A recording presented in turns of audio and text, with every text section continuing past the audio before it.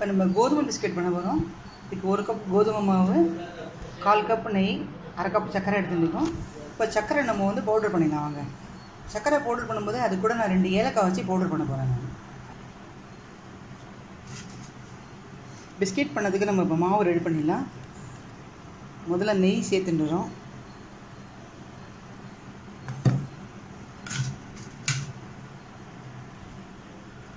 இப்போ இதில் பவுடர் பண்ணியிருக்க சர்க்கரை சேர்த்துக்கலாம்.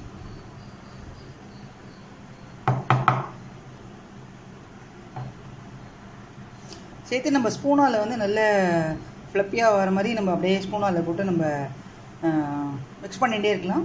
அதுக்கப்புறம் கோதுமை மாவு சேர்க்கலாம்.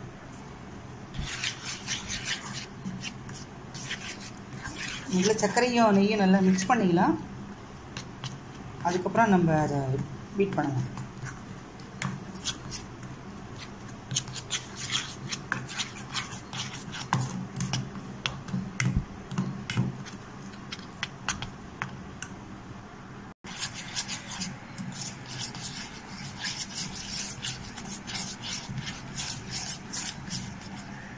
விஸ்க் இல்லாதனால நம்ம இதில் பண்ணுறோம் இது ஓரளவுக்கு நீங்கள் க்ரீம் மாதிரி ஓரளவுக்கு பண்ணதுக்கப்புறம் கோதுமை மாவு சேர்த்திங்கன்னா சரியாக இருக்கும்.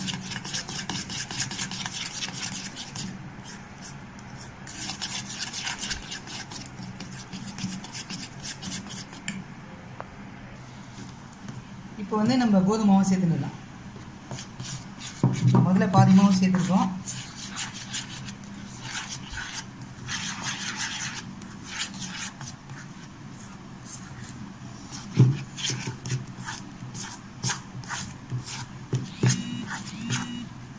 mínimo não sei.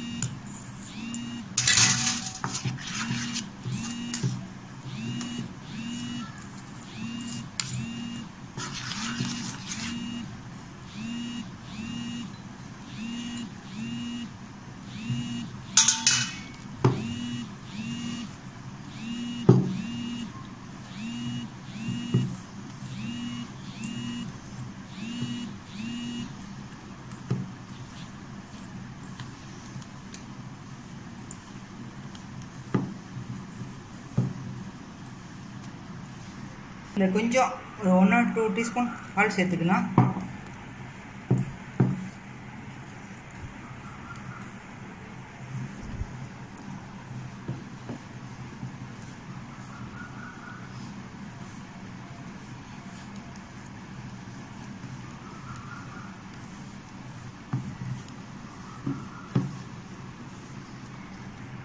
இப்போ நம்ம அதுக்குள்ளே நம்ம வந்து நான்ஸ்டிக் தவாவில் வந்து நம்ம அது ஹீட் பண்ணதுக்கு ரெடி பண்ணிக்கலாம் நம்ம.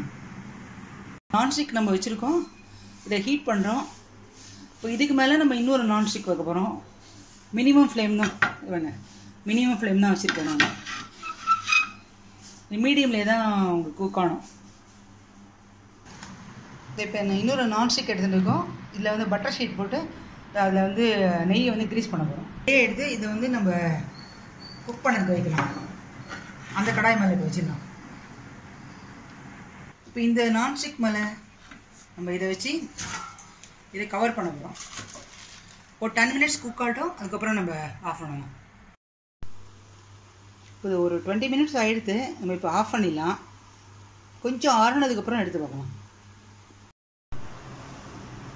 இப்போ நம்ம கோதுமை பிஸ்கெட் ரெடி ஆகிடுது டேஸ்ட் பண்ணி பாருங்க. கடையில் வாங்கிறதுக்கு பதிலாக இது மாதிரி ஹோம் மேடாக பண்ணி சாப்பிட்டிங்கன்னா ஹெல்த்துக்கு நல்லது.